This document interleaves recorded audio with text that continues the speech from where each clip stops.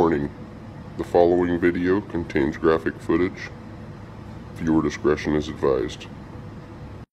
I went on my four wheeler. When I got close, I seen that uh, all these parts were missing. cut out? One eye and the ear and the tongue, and there was a piece of skin missing on the jaw. Skin missing on the jaw. And was there any blood?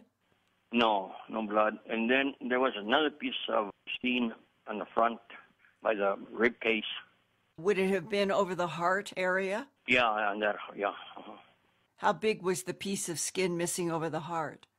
Oh, it was probably like eight to ten inches, like kind of round. And then on the uter, Milk bag.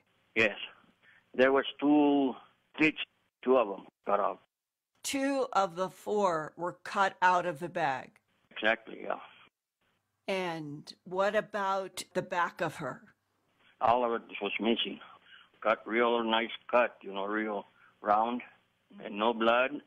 Was it the rectum and the vaginal area?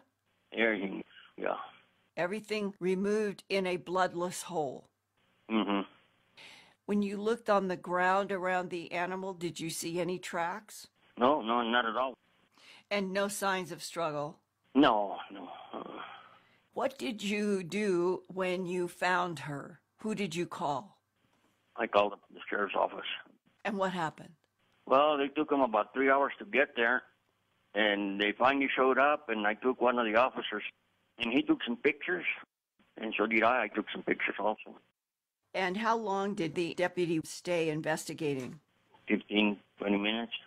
So he didn't try to take any tissue or hair? Or No, no. What were his comments? He didn't know what happened. That's all he said. I don't know. He just took pictures. He didn't have no idea.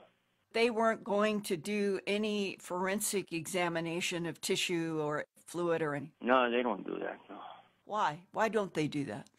That's a good question. I don't know why they don't do it, but they don't. Here are the facts. While the famous Charles Fort mentioned unusual attacks on livestock as far back as the late 19th century, reports of modern animal mutilation in the US first began to hit papers in the 1960s. In 1967, a newspaper called the Pueblo Chieftain reported that Colorado resident Agnes King found her horse Lady bizarrely mutilated and killed. Though the horse's neck had been skinned, there was no blood at the scene. Agnes's son Harry reported a strong medicinal odor in the air. Concerns over so-called mysterious mutilations of cattle, horses, and other livestock grew as the years went by.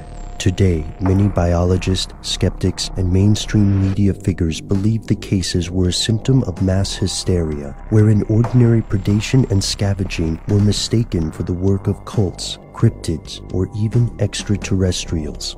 Were they correct? Were fringe beliefs about cattle mutilation simply the domain of kooks and eccentrics? Here's where it gets crazy. The answer isn't as simple as it might at first appear.